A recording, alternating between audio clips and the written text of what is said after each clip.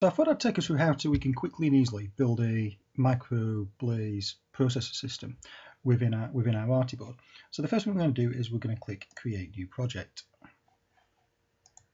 Now this assumes that we have already installed the Artiboard board profile. Uh, if you're not sure how to do that, there's a link at the bottom of this that shows you how to do that. And we're going to be using Vivado 2015.4 for this. So the first thing we're going to do is we're going to have a create a new project. As I said, we've got the RTL project there. We're not going to specify any sources at this point in time. When we select the device, we're actually going to select the board and we're going to select the Arty board and click on next and then finish that. Okay, so with our project open, the first thing we're going to do is create a new block diagram. And this new block diagram, I'll give it the name top level. And that will be opened very quickly. And you'll see that on the bottom we have a new tab here called board. Now this defines all the inputs and outputs that are contained within the Arty board profile definition.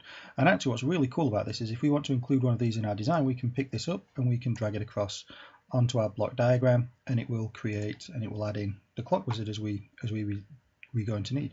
Now to get our Arty system up and running, we actually need to modify this slightly. We need to declare declare two clocks. The first one is at a 166.66 and the second one is at 200 megahertz.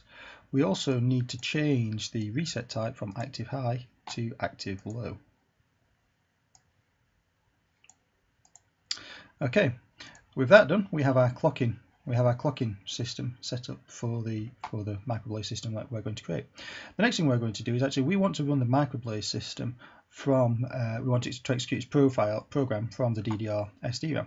So within the board definition and the program there is a memory Xilinx memory interface generator project which means that when we pick up our DDR SD DDR3 SDRAM drag this onto our block diagram that it actually automatically creates the project for the MIG project for us and sets it up as we require.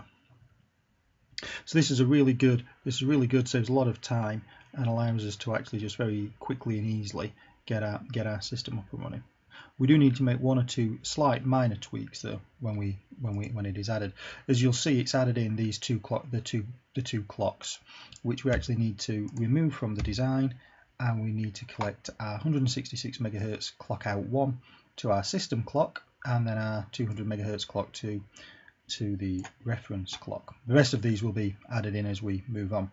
With that completed we want to click on run connection automation and we want to connect the system reset to the uh, to the memory interface generator. So we click OK and that will run through.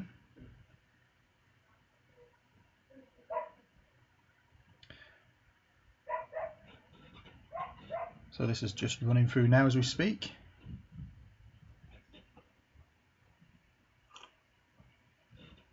And you can see it's added the reset to the to the system reset. We also need to add that reset onto the onto the clock generator. So with with this in there, we we now need to add in our microblaze system. So we click on this, we type in micro microblaze, we add the microblaze into our system. And then we click on this block here which is run block automation.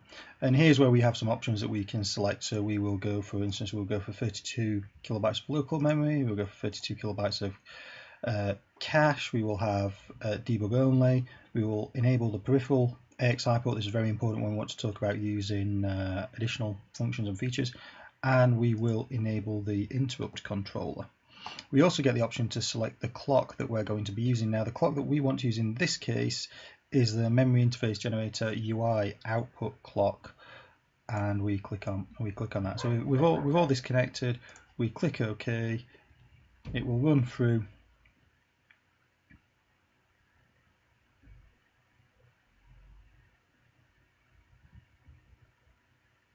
while it thinks a little while, it will uh, it will populate the design as we need it to do. Okay, so at this point I'm going to pop this out the window, I'm going to maximize this and I'm going to fit it to the window. So we can see that we've got our microblaze system here, we have the local memory here which has the which has been added, which has the uh, for both for data and instruction local memory BRAM controllers and, and then a BRAM. We have the uh, AXI interrupt controller added with the concatenation block needed.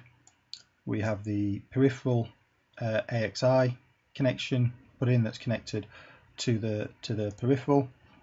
And we have the we have the memory debug debug box debug module and the and the reset module all put in.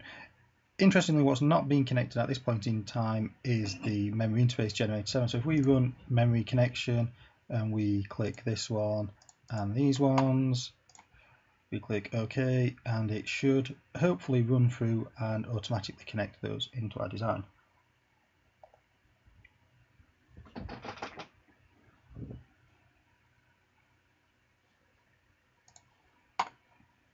Okay, now we can see this is all this is all being added in. We have the memory interface connector is connected into a new AXI interconnect that connects the uh, AXI uh, cache and instruction data and instructions to the to the memory. So if we just redraw our diagram there, we get a much more sensible looking looking uh, looking image there. The next thing we want to do actually, we want to be able to communicate with the outside world in this very simple, very simple build. So if we click on here and we add in UART, add in the UART Lite,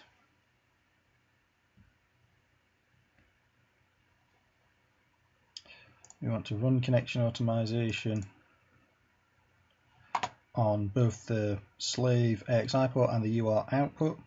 It will pick up the board interface parameter there and click on OK and again it will automatically run through and connect this into our design.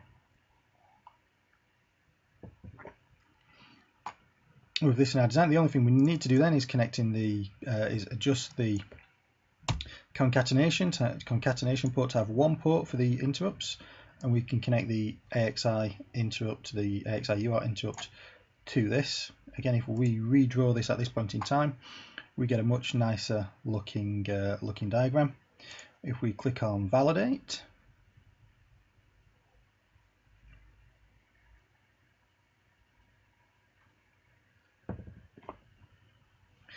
we'll see that the design is uh, successful with no critical errors or warnings in this design. We can then minimize that back into our project. We can go to sources. If we click on uh, the block diagram, if we right click on that and we create, create HDL wrapper, this will create a VHDL top level netlist that will actually be synthesized. So we'll let Vivado manage this. Click OK there.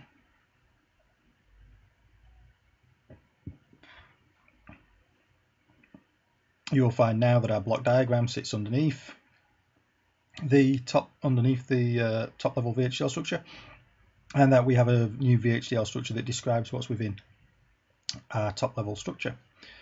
If we then click on generate bitstream we can then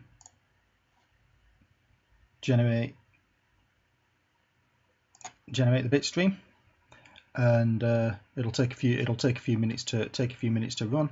But once the project has run we can quite easily go we can quite easily open the uh, implemented design and export that to SDK such that we can initially write our hello world program for that